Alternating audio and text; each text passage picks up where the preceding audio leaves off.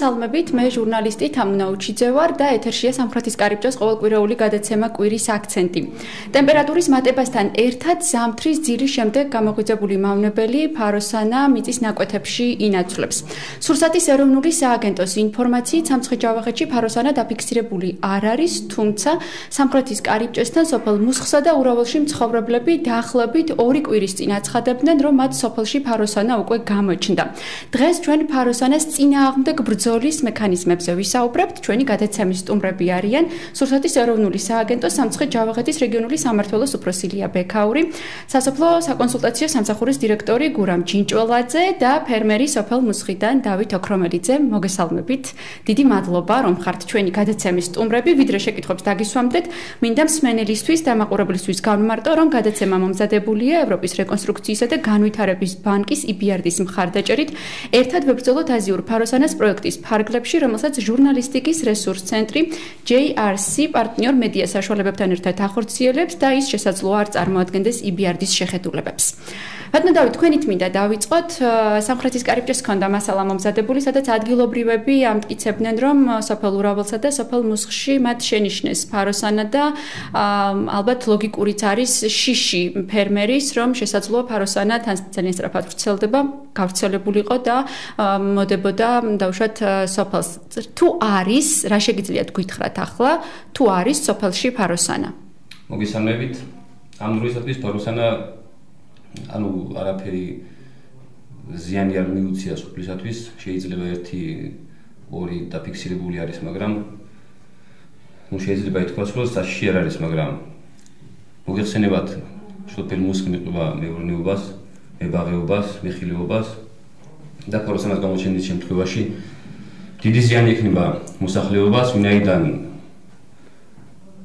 ძირითადი შემოსავალი სოფლის არის როგორც მებაღეობა, ასევე მეფუტკრეობა, პირადად მე აქვს მიყვება მეფუტკრეობას და რა თქმა უნდა ეს ერთადი შემოსავლის წყარო შეგვიძლია თავისთავად. ეხ თქვენ თვითონ თუ შენახეთ ეს წერი მავნებელი, იმიტომ რომ როცა რაღაცა ესე ვთქვათ, ასე თუნდაც მსგავს მავნებელს ნახულობენ, ყოველას შიში აქვს უკვე რომ ეს არის სწორედ ფაროსანა. თქვენ თვითონ თუ ნახეთ, ან თუ დაუშვათ შეატყობინეთ შესაბამის სამსახურს ამის შესახებ. ჩვენ ნახეთ, აი ჩემო ოჯახში არ დაფიქსირებულა ბიძაშვილის ოჯახში იგივე მუსხში. ასე ვთქვათ, ძველი ლეიბი ქონდა შენახული სახლში და ის გამოტანის შედეგად რამოდენიმე ფაროსანა იყო დაფიქსირებული ანუ ლეიბში. დაბუდებული. ანუ დაბუდებული კი. და როდესაც გაზაფხულზე გამოიტანა ეს კი, რა თქმა უნდა, როგორც ამბობენ ძალიან სწრაფად მრავლდება ერთთან გამოდის 200 და ასე ვთქვათ, არის იმის საშუალება რომ მოედოს სოფელს და პრობლემები შეგვიქმნას მოსახლეობას. დიახ, ამას ამ საშიშროებაზე სოფლის მეურნეობის სამინისტროც საუბრობს. ქალბატონელია, ვიცით რომ 500 ფირფიტა უნდა დამონტაჟებულიყო მონიტორინგისთვის, ორი კვირის წინ დაიწყო ეს პროცესი. რა ეტაპზეა ფირფიტების დამონტაჟება ამ დროისთვის? ანუ ეს პროცესი მიმდინარეობს დღესაც დაახლოებით ნაწილი უკვე დამონტაჟებულია. რასაც შეეხება ამ მუსხის პრობლემას დაურავლისა, დღეს ვიყავით და დავამონტაჟეთ ფერომონი.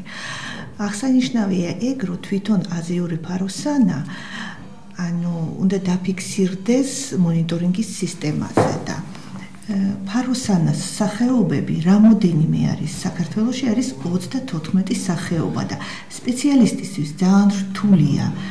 ანუ ჩაატაროს კლასიფიკაცია ეს არის ჩაოლებრივი ფაროსანა თუ აზიური რომელიც არის მავნებელი ზუსტად ამისთვის არის მონიტორინგის სისტემა, ანუ ფერომონი, რომელიც იზიდავს ფაროსანას და ეს ფაროსანა წებოვანი ფირფიტა, რომელიც სპეციფიური სუნი აქვს და ეს და იზიდავს 12 კილომეტრზე ფაროსანას, მაგრამ მარტო მავნებელ ფაროსანას.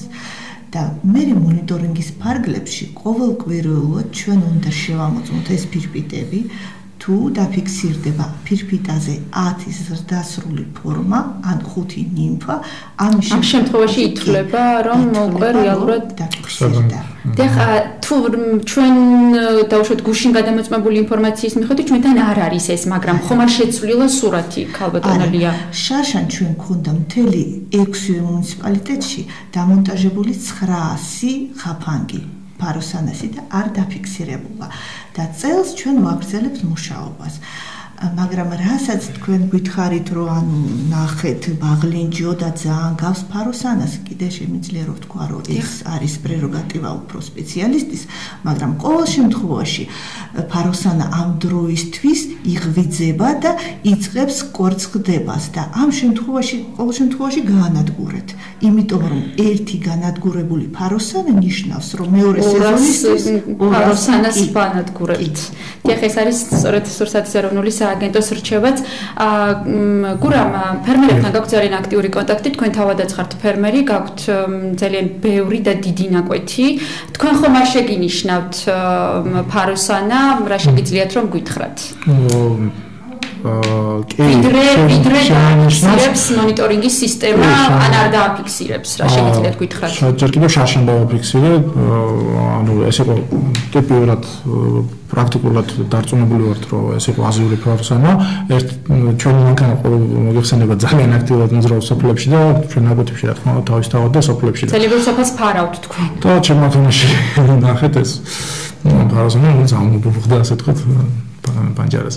დაუჭირეთ და ასე ვთქვათ, დავატოვოთ შემდგომში. აი, კარგი ხანს ვაკურდებოდ, მაგრამ ნუ რაღაცა ეს გართობას და შეიძლება იყო მაგავში, მაგრამ ზოგადად ფაქტია, რომ ეს აზიური პერსონა იყო და ეს არ არის გასაკვირი, იმიტომ რომ დასავლეთ საქართველოში ამხელა გავრცელება რო იყო, ნუ გასაგებია, რომ ტრანსპორტი მოძრაობს, სხვადასხვა რაღაც საშუალებებია, რომელიც მოძრაობს რაღაც ტვირთები და შესაძლოა რომ უკვე კი შეიძლება ასე ასე შემოვიდეთ თავის დროზე საქართველოში ჩვენი აზრით ჩვენი სპეციალისტების აზრით ეს აფხაზეთიდან მოხდა რუსეთის გავლით ხო ეს ფაქტია უკვე შეიძლება ასე ვიზაუროთ ისინი ჩვენ გვაგრალებენ მაგრამ მაინც და ასეთი შემთხვევები არის მაგრამ ეს არის ძალიან ძალიან ესეთი საბედნიეროდ ჯერჯერობით შემთხვევები ხა მე მინახეთ შემოგებული იმსაც ქალაქშიც ნახეს ასე თქვა მაგრამ ну ეს ასე ასე დიდი განგაშის არის არ უნდა შემოვკრათ მაგრამ მაგრამ პრევენცია, რომელსაც სახელმწიფო ახორციელებს უკვე აქტიურად,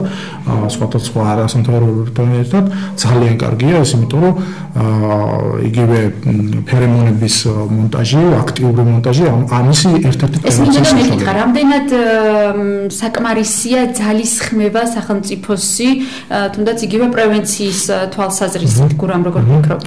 აა დღეისათვის რაც ხდება აღმოსავლეთ საქართველოსთვის ძალიან აქტუალურია. სამწუხაროდ დასავლეთ საქართველოსთვის როცა როცა უკვე უკვე შარშან იყო ასეთი პრობლემა, დაჟე შარშან წინაც იყო უკვე ესეთი პრობლემა, რა თქმა უნდა, ჩემი აზრით ეს უკვე დაგვიანებული იყო, აა იმიტომ რომ ქიმიური საშუალებები ჩაერია და ძალიან დიდი ზარალი მიადგა დასავლეთ საქართველოს.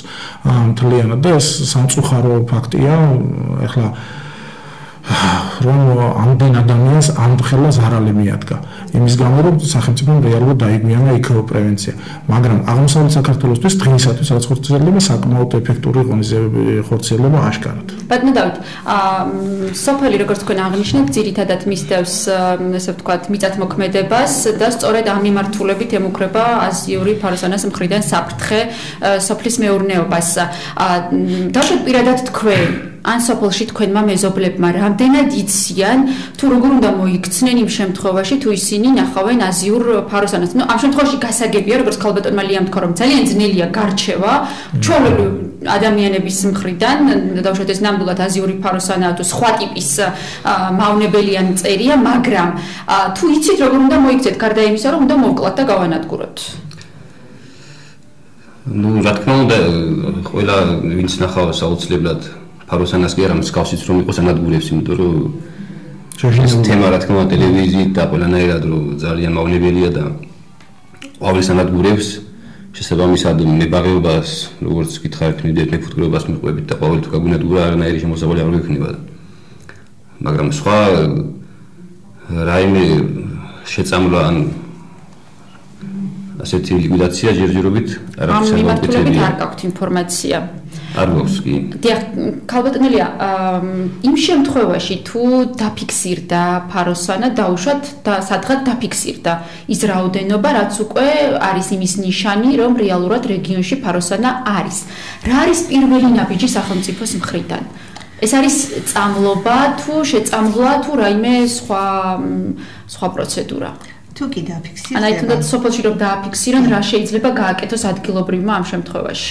ამ შემთხვევაში, როგორც გითხარით, ეს აუცილებლად უნდა იყოს დაფიქსირებული მონიტორინგის სისტემაზე.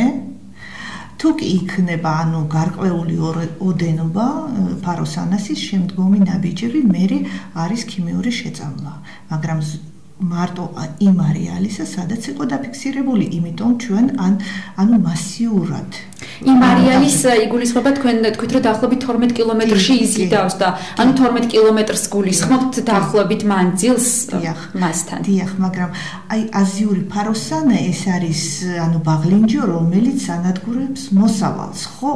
ანუ იმიტომ ხო ნაყოფს იმიტომ აი ამ პერიოდისთვის სანამ არ გვექნება მონიტორინგის შედეგები ჩვენ არაფერი არ შეგვიძლია ერთადერთი თუ მოსახლე ნახავს აღლინჯოს და ჩათვლის რო ეს ან ფაროსანა მავნებელი ან ჩვეულებრივი უნდა გაანადგუროს. უნდა გაანადგუროს.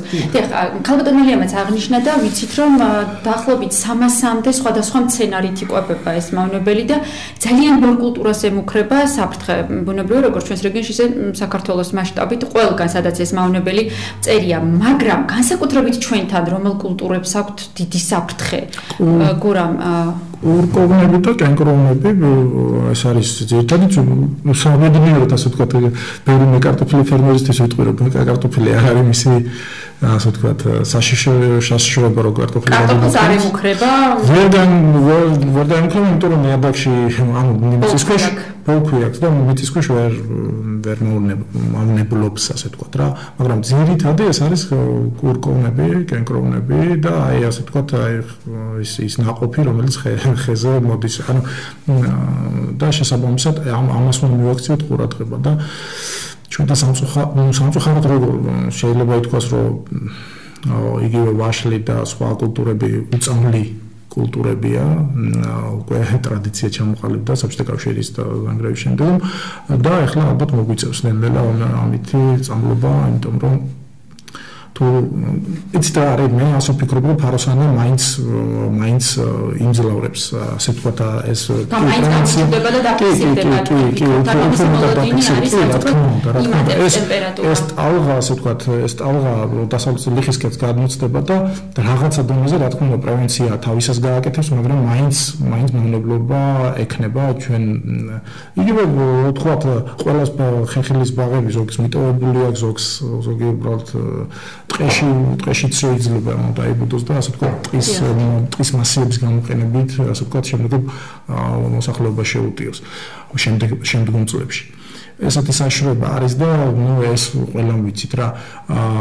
ერთიც არის რომ აიგივე ამერიკელები ძალიან სერიოზულად ებრძვიან ამას და ჯერ კიდევ იქაც ვერ გამოინახა ვერც ქიმიური და ვერც ასე ვთქვათ ბიოლოგიური საშუალებები ან ძალიან ეფექტური საშუალება ის რომ არ არის ჯერჯერობით ამერიკულ ამერიკულ სპეციალისტებსაც უჭირთ ამ ამ ნებელთან აზურ კონკრეტულად აზურ პარანაირს ბრძოლა. კანონე თქვენ ახსენეთ რომ ვიდრე არ დაფიქსირდება მანამდე ვერაფერს გავაკეთებთ, მაგრამ ხომ არ არსებობს ისეთი საშუალებები, შესაძლებელი საშუალებები, რითაც შეიძლება რომ თუნდაც პრევენციის მიზნით გლეხმა და უშუალოდ მის საკარმიდამო ნაკვეთში და უშუალოდ შეწამლოს ან ნუ რაღაცა სხვა სხვა სხვა კულტურები, ნუ ხეხილი მაგალითად ან რაღაცა ესეთი ხომ ხომ არ შეიძლება რომ რაღაცა ან ჯერჯერობით არა, იმიტომ რომ იცით რა, ხოლმე ფერმერი ფიქრობს, რომ აიხლავე შევწამლავ და დასრულდება ეს ფაროსანას, ანუ ამბავი. ამ შემთხვევაში არავითარი, ანუ წამლობა არ ანუ ძდარი აზრია. ეს მიუღებელი ეხლა არავითარი წამლობა არ უნდა ჩატარდეს და არავითარ შედეგს ვერ გამოიღებს, იმიტომ რომ ფარასონა მარტო იღვიძება ეხლა. იღვიძებს და უნდა დაფიქსირდეს რა რაოდენობა, რასთან გვაქვს საქმე. არა, უბრალოდ ის ბიოლოგიას უნდა უყუროთ, ასე ვთქვათ. ბიოლოგია თავისი სიცოცხლის ციკლი აქვს. ეხლა დაიწყებს კვერცხდებას. მე უნდა მეორე თაობა ნიმფა უნდა გამოჩნდეს, ანუ მატლი და ზუსტად ამ დროს როცა ჩნდება ნიმფა და მატლი ამ შემთხვევაში არის ეფექტური წამლობა აჰა ანუ ხო ხო ამრავლების ამრავლების პედალს საწყის ეტაპზე ჯერადრი დიახ, რა აი რა არის სახელმწიფოს ესე ვთქვათ აცხადებს სოფლის მეურნეობის სამინისტროში რომ ყველა ღონეს ხმარობს სახელმწიფო ფაროსანას ფაროსანას წინააღმდეგ საბრძოლველად დაიწყო პიარ აქციები ანუ პრევენციის მიზნით და ასე შემდეგ. თუმცა რამდენად საკმარისია ეს იმისთვის რომ საფრთხის მოლოდინი არ გქონდეს და საფრთხე თავიდანვე იქნეს აცილებული ქალბატონელია. იცით რა, აი ეხლა აი როგორც გითხრა, ფერმერმა რო დავინახე ეს ფაროსანა. ზუსტად ეს ფაროსანა უნდა მივიზიდოთ ეხლა თუ არსებობს რეგიონში. ამისთვის კიდე არის აი ჩოლებრივი ხერხი შეუძლიათ რომ აი დადონ თებში საპნიანი წყლით და დაამაგრონ ნატურა და თვითონ ფაროსანა შუგზე მოდის და მე ვარდება ამ წყალში. ეს ანუ ნატურასთან ახლოს რაღაცა გაშლილდება დასხმული წყალი. კი, შეუძლია აი თავის ანუ ანუ ან აივანზე, ან ეზოში ასეთი რაღაცა გააკეთოს თუ კი ეშინია და მე ეს ფაროსანა განადგურდება, რომ ჩავარდება საპნიან წყალში. შეიძლება ეს ფაროსანა იყოს ანუ ფოთლების ქვეშ. მაგალითად ტყეში, იმიტომ თუ ჩვენ ვამაგრებთ ფერომონებს უფრო ანუ ტყის პერიმეტრზე დიახ ტყეში შიგნით არა რა ტყის ტყესთან ახლოს ასე ვთქვათ დიახ. კი. რომ თუ გამოვა ეს ფაროსანა გაიღვიძებს და ჩვენთან არსებობს ხო? ხელათში დაფიქსირდება. ასე ვთქვათ შერჩეულია ხო იმდენ მამლების ასე ვთქვათ ფაროსანები. კიდე არის ტრასა, ხო? ტრასაც ხო საშიშროებას წარმოადგენს. შეიძლება კონტეინერით ან მანქანით ეს ფაროსანა შემოიღო. ერთი რეგიონიდან მეორე რეგიონში თივა წაიღეს სიტყვაზე. აი და მხოლოდ რამდენი ფაროსანა შეიძლება წაყვეს ამას წარმოიდგინე. და კიდე ბაღი. როგორ? ბაღი. რასკოლის ხეხილის ხეხილის ბაღები. ესეც არის მაღალი რისკისა, იმიტომ რომ ფარასონას უყვარს ხილი, ზუსტად ხილს ანადგურებს. და საინტერესო ის არის, რომ ბევრად მეტად უყვარს ხეხილი ვიდრე თხილი. და დასავლეთ საქართველოში, დასავლეთ საქართველოში რატომ იყო? იმიტომ რომ ბევრი თხილია და რა ნუ რაც რაც ნახა საჭმელი ეს ადვილად საჭმელი ის პრიორიტეტი არა, დიდად არ უყვარს თხილი. დიახ, ბატონო დავით, ხუთ ყოველ 12 კილომეტრში მონტაჟდება, მიმდინარეობს მონტაჟი ფერომონების, ანუ მონიტორინგის სისტემა მონტაჟდება. როგორ ფიქრობთ, თქვენ რამდენად საკმარისია ეს სახელმწიფოს მხრიდან ალბათ თქვენ ახსენეთ, რომ ძალიან ბევრი გადაცემაც გადის სიუჟეტებიც მზადდება ფაროსანასთან დაკავშირებით, ჩვენ სამხრეთის კარიბჭეც ძალიან ხშირად ავრცელებს ინფორმაციას ამის, ვავრცელებთ ინფორმაციას ამის შესახებ. რამდენად საკმარისია ეს ყველაფერი, როგორ როგორ ფიქრობთ თქვენ? ну ამ დროისათვის ვფიქრობ საკმარისი იქნება ვინაიდან არ არის მაინც ზამაინც მოდებული გამრავლებული. და შემდგომში თუ როგორც აგერხება თუნდაც ბრძანა მისი კვერცხი მისი ბატრი გამოჩნდა ასე ვთქვათ. აუცილებლად დაჭირდება დამატება და უფრო მეტი ყურადღება მის განათურებისთვის ამ დროისათვის ვფიქრობ საკმარისი იქნება კი ბატონო. დიახ, თქვენ დიახ ერთი ერთი პროცესები ის არის რომ კარგი ჩვენთვის, ჩვენ რეგიონისთვის რა არის? ანუ გამრავლებას იწყებს სადღაც 16 გრადუს ცელსიის ტემპერატურას. ტემპერატურა. ანუ თუ ეს ტემპერატურა ანუ დღის და ღამის ტემპერატურაც არ დარებული და ასე თქვა დაახლოებით ამ ტემპერატურაზე არავიდა საშუალო ტემპერატურა ხო? რეალურად არ იწყებს აქტიურად ვერ ვერ იწყებს. და ჩვენ რეგიონისთვის მაგამთიანად ეს ტემპერატურა ცოტა ანუ უფრო აპრილი გვიანი ვიდრე ახლა დასავლეთ საქართველოში კახეთში და გოქონო ქართლში და თუნდაც შიდა ქართლში რა. რეალურად ყველაზე მაღალი რეგიონი ვართ ერთ-ერთი მთლიანობაში. და აი ეს ეს გასათვალისწინებელი ეს დიდი პლუსია თვითონ ჩვენი ადგილმდებარეობისთვის რა.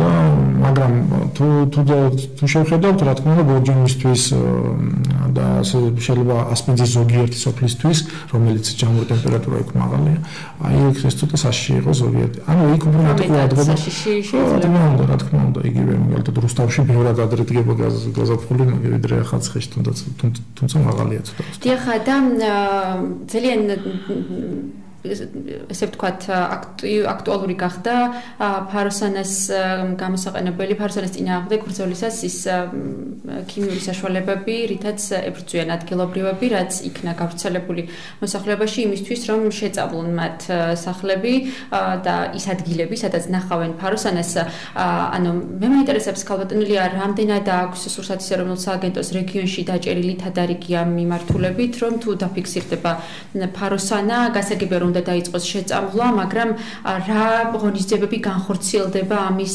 პარალელურად? იცით რაში ესე აზიური ფაროსების ბრძოლის штаბი არის შექმნილი, რომელშიც შედის მარტო სურსათი, არასურსათის ეროვნული სააგენტო, აგრეთვე სოფლის მეურნეობის სამინისტროს წარმომადგენლები და მუნიციპალიტეტების წარმომადგენლები. თვითმმართველობებით აქტიურად არიან ჩართულები, დიახ. ეს ყველაფერი კონტროლირებადია და შემდგომი ნაგვიჯისთვის ჩვენ ვართ მზად. მაგრამ მე რატომაც მგონია, როგორც აი თქვენც მითხარით, რომ სამცხე-ჯავახეთში უფრო ნაკლები რისკია გავრცელებისა. ანუ ანუ ტემპერატურიდან გამომდინარე ქალბატონო ლიდია. მოკლე სიცოცხლე აქვს რა, გამრავლების ნაკლები რადგან კაცია კლიმატი და და ის ანუ შეიძლება თან კიდევ ყველაზე ის არის რომ ნუ პრობლემა ის არის რომ თუ ცოტა თბილი გაზაფხული იყო რა თქმა უნდა უფრო ჩვენთანაც დაიწყოს მაგრამ წელს ისეთი ზომიერი გაზაფხულია და ჯამურად ჯამურად ნაკლები. ახალ ქალაქში ნაკლებად უნდა ახალ ქალაქში პრაქტიკულად მინუცინდაში არ არის გავრცელების მაღალმთიან სიდებში შედარებით ნაკლები რა უნდა შეჭამოს ახალ ქალაქი მინუცინდაში მე მე ორი საკითხი. რომელი ასეთი ფაქტორი ჩვენი ჩვენთან არის აი ესეთი კულტურა შეწამლის მცენარეების ყველა ფერმერი თითქმის წამლავს. ბაღებს არ ალია. მაგრამ მაინც წამლავენ ჩვენთან უფრო მეტად. ეს ქალბატონელი ამ შემთხვევაში ეს პესტიციდები მოქმედებენ მაინც და მაინც ფაროსანაზე. აი სწორედ ამას გულისხმობდი, როცა ვახსენე, ხომ არ არსებობს რაიმე შეწამლის საშუალება თავის დაზღვევის და პრევენციის მიზნით თქო. ანუ თუ დავუშვათ ხეხილს შეწამლავ ისე რომ დავუშვათ როგორც წამლავდი ადრე ყოველწლად პროვინცია მაინც არის იგულისხმება ამას გულისხმობდი დიახ ანუ ნაყოფის ნაყოფის ჩამოყალიბებიდან შეიძლება ეს არის დაახლოებით მაისის მეორე ნახევარი, აი მაგიდან შეიძლება ეფექტური იყოს. ივნისი. ივნისი, რა თქმა უნდა, ივნისი მეტად, მაგრამ რეალურად მაისში, მაისის მეორე ნახევარში შეიძლება დადგეს ეს პერიოდი ჩვენ ჩვენი რეგიონისთვის, ჩვენ ხეხილისთვის და კურკულოვანისთვის. თუ იწამლება მსხში ხეხილი, აი ქალბატონია თქვა რომ დიახ თქვა რომ ეს რაღაცა კულტურა ადგილობრივებში ასეთი და თუ წამლავთ, თუნდაც პირადად თქვენ ხეხილს. ხეხილი პირადად და ასე ვთქვათ 90% არ წამლავს. მაგრამ იწამლება კარტოფილი, როგორც ბატონ გულოვანი თქვა, კარტოფილი საერთოდ თუ არ იკარება, ანუ არ განადგურდება კარტოფილის შეწამლის დროს, მაგრამ კარტოფილსაც ხო აქვს ახლა პაუზი და ვფიქრობ რომ მაინც არა აფირო სიცხო რაღაცას აუნებს დაჟდია თავისთავად. ხო, შეიძლება ეს ახლა ძირებს კი ახლა კარტოფილს შეჭავს, მაგრამ თუ ფოთოლი გაუფუჭა და ყავილი გაუფუჭა, ნაკლი მოსავალი მოვა თავისთავად, ხო? მაგრამ კარტოფილი იწამლება. აუნებელზე როგორც არის ხოჭო და მაგალითად შეიძლება ფაროსამასაც აუნოს ხო მის შეწამლის შედეგად, მაგრამ ხეხილი და ბაღები არის წამლება ჩვენ. გურამ რას ურჩევთ ფერმერებს, რითი შეიძლება შეწამლონ, რა პერიოდში და როგორ ხილი თუნდაც რომ შედარებით ნაკლებად დავუშვათ თუ გავრცელდა ნაკლებად დაუზიანდეთ. აა თვითონ სურსათის სააგენტომ და შაშამ დაიწყო დასავლეთ საქართველოში აქტიურად გამოყენება ამ პრეპარატის, ეს არის საწყისი ნივთიერება არის ბიფენტრინი, ტალსტარი ქვია, ესეთი ნივთიერება და ძალიან კარგი, ასე ვთქვათ, მაღალი კლასის ინსექტიციდია ეგრეთ წოდებული და თუმცა თავისი რა თქმა უნდა მასიური გამოყენება ამ სახლებში გამოყენება და იმაში არ შეიძლება როგორ უნდა გამოიყენონ? აი ეს არის ეს არის სიტყვით ანუ უსაფრთხოების მთელი ასე ვთქვათ ნორმები ნებისმიერ პრეპარატს პრაქტიკულად ჩვენ თანამედროვე ხო იქ ინსტრუქციაც აქვს გამოყენების ინსტრუქციაც აქვს და პირბადით რა თქმა უნდა სათვალეებით და შესაძლოა სამოსით სპეციალური სამოსით. რა თქმა უნდა და შეწამლა ხეების მთელს სიმაღლეზე და ასე შემდეგ. სიმაღლეზე? რა თქმა უნდა, რა თქმა უნდა, აქ აქ არის კი მეორე პრობლემა, რომ ჩვენთან ძველი ბაღები ძალიან ბევრი ეგენი მუსხში და მაღალი ანუ ეგრეთ წოდებული თანამედროვე ბაღები, დაბალი ტიპის ბაღები ყველგან არ არის გავრცელებული. თუ ერთი ერთი ადგილობრივი შეწამლავს და მეორე არ შეწამლავს. ამ შემთხვევაში ეს ცუდად ასაკვის. ანუ შეწამულსაც აზრი ეკარგება? აზრი არ ეკარგება, მაგრამ მოკლევადიანი ეფექტი ექნება რა. შეიძლება ერთი თვე გადარჩეს იმის ბაღი, მაგრამ მეორე თვეში კიდევ ჯერადად რამდენად საკმარისია და რა პერიოდულობით უნდა გაიმეოროს ფერმერი? ალბათ, ალბათ მინდა მოქმედი ამ მოქმედი ნივთიერების მოქმედების პერიოდი გრძელდება რაღაც ორი კვირიდან სამი კვირამდე გააჩნია ნალექს. აა ანუ წვიმა წვიმა რამდენად ესეთი ჩამორიცხავს და და წვიმიანი ამითი შემთხვევაში უფრო წვიმაში არ იწამლება. ხო, ნუ რა თქმა უნდა, თავისთავად. თავისთავად და ოღონდ ორი სამი კვირა ეფექტურია და მე უკვე ისე შესაძლებელი იქნება. და პრობლემა ის არის რომ თლიანად კი არ ჭას ამის ნაყოფს ასე ვთქვათ ეს ფაროსანი მიდის და კბიჩავს ამ ამ შეგვეჩეს ასე ვთქვათ იმპერატორ სხვადასხვა დაავადებები სოკოვანი და და ასე შემდეგ და ეს თვითონ ნაყოფს უფუჭებს როგორც ვიზუალურ მხარეს ისე ასე ვთქვათ შეიძლება დაავადება გაჩნდეს და დააყოს მთლიანად ნაკვეთი იგივე იგივე საქართველოს ზუსტად ასახდებოდა რომ თხილს მწვანე ფორმაში როცა იყო ხო მაშინ მივიდოდა პატარა ჩაკბიჩავს და მე უკვე ის თხილი თლიანად ფუჭდება, ლპება, სხვადასხვა დაავადებები ადვილად უჩდება, მე თვითონაც იქ ფართო გამოყენება აქვს, რაც არის და ასე შემდეგ და ასე შემდეგ და სოკოვან დაავადებები. ზუსტად ეს არის პრობლემა. დიახ. ჩვენი გადაცემის რა ფაქტობრივად ამოიწურა, რომ შევაჯამოთ ერთიანად აა კალბოტონელია თქვენით რომ დავიწყოთ დაახლოებით 3 წელია რაც სახელმწიფო ებრძვის ამ ესე ვთქვათ პრობლემას, უფრო მეტად დაიხვეწა ბრძოლის მეთოდებიც, პრევენციის მეთოდებიც და მაინც ისევ ჩვენს რეგიონში რო დავრჩეთ, აღნიშნეთ მართალია რომ შედარებით სხვა რეგიონ თბილ რეგიონებთან შედარებით ჩვენთან ნაკლებია საფრთხე, მაგრამ მაინც რა მოლოდინი გაქვთ თქვენ რომ გითხრათ და აი თქვენი პირველი ნაბიჯები რა იქნება რაღაც რომ შევაჯამოთ. თორემ ყველაფერზე ფაქტობრივად გავიცით პასუხი. იცით რა შეესაბამება მე არ ანუ შემიძლია რომ თქვა შეიძლება ერთეული ეგზემპლარები ჩვენთან არის ფაროსანეს. ნუ არ არსებობს რომ არ იყოს. ხო მაგრამ ეს ერთეული ეგზემპლარი ჯერჯერობით არავითარ არ დააზიანა არავითარის მცენარე ხო? გვაქვს ასეთი ინფორმაცია მაგრამ დაველოდოთ მონიტორინგის შედეგებს. ყველაფერი არის დამოკიდებული მონიტორინგის შედეგებზე. ჩვენ უნდა ეხლა ჩავატაროთ კიდე ანუ დაკვირვება ამ ფირფიტებზე, რომ ნახავთ ფაროსანას. ვინ დაკვირდება ამ ფირფიტებს ადგილზე, ხალბატონო? ჩვენი სპეციალისტები 500-ვე ფირფიტას თქვენი სპეციალისტი. კი, მაგრამ ეს 500 ფირფიტა ხო არის ყველა სოფელში კი არ არის. როგორც გითხარით, ანუ ტყის პერიმეტრი, აა თვითონ ტრასა და ის სოფლები სადაც არის ხეხილის ბაღები. რა თქმა უნდა, ჩვენ როცა ვამონტაჟებთ ამ მონიტორინგის სისტემას, თვითონ გამგეობა არის საქმის ყურში, გვეხმარება, რა თქმა უნდა, ჩვენი სპეციალისტი სულ მუდმივად ათვალიერებს რა არის დაფიქსირებული ამ ფირფიტებზე. და ეს ყველაფერი კონტროლირებადი და დაველოდოთ შედეგებს. დიახ და გურამ ბოლოს რას ურჩევდით ფერმერებს თქვენ საკონსულტაციო სამსახურში? ზადიყვნენ, ზადიყვნენ პრობლემებისთვის, მაგრამ ამ პრობლემის წინასწარ ებრძოლონ, ამას ურჩევ მე. იმიტომ რომ ეს ეს არის თლიან საქართველოს პრობლემა, უკვე რეალურად საფრთხეების თვის ასე თქვა, აზრით. დიახ. მედიაციის მე მე მე მე პრობლემა. ეს რიგი პირველი პრობლემა მე. მედიაცია იქნება და ამაზე ბევრი ისაუბრია ჩვენთან არა. მე მალე მიწა შემოზე საუბარი. იწყება უკვე ცოტა ხანში წვის სეზონი. კი და ძალიან ძალიან ბევრი საქმეა უკვე უკვე გასაკეთებელი. აა მაგრამ ნომერი მეორე პრობლემა ახლა ჩემი აზრით ჩვენ რეგიონისთვის და ამისთვის მზად უნდადნენ ფერმერები. რომ დაინახონ ახლა პანიკაში და შიშით ეს პატარა რაღაცა ძალიან პატარა ასე თქვა ბაღლენჯოა ლიერა. მაგრამ ძალიან დიდი ზიანის მოტანა შეუძლია და ამიტომ მზად იყვნენ.